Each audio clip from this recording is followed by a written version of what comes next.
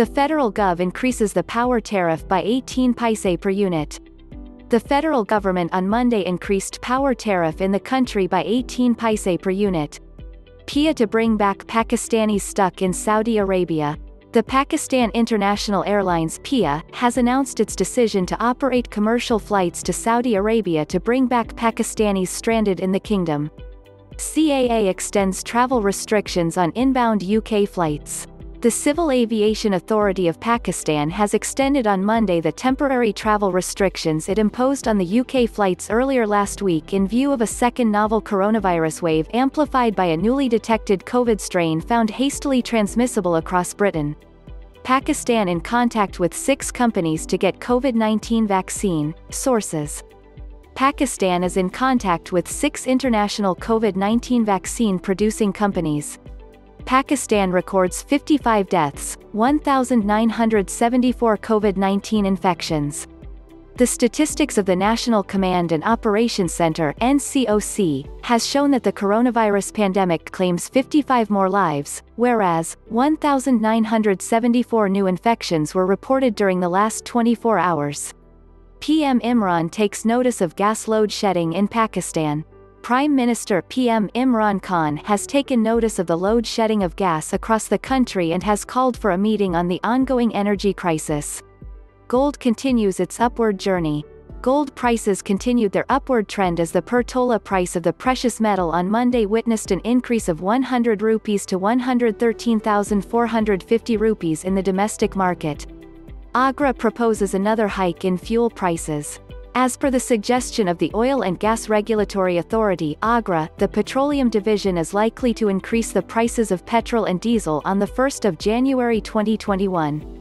The price of petrol will be increased by 2 rupees and 76 paise per litre, and the price of diesel will go up by 3 rupees and 12 paise per litre, as per reports. Akhtar blasts ICC for a team of decade selection. Former fast bowler Shoaib Akhtar has criticized the International Cricket Council ICC, for not including a single Pakistan player in their teams of the decade.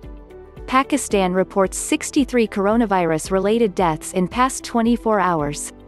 The novel coronavirus has claimed more 63 lives in the past 24 hours, taking the death tally to 9,922. UK coronavirus variant detected in three Karachi passengers. A coronavirus strain 95% similar to UK's new strain has been detected in returning passengers in Karachi, announced the Sindh Health Department on Tuesday. High-level Saudi delegation to visit Pakistan soon, Qureshi.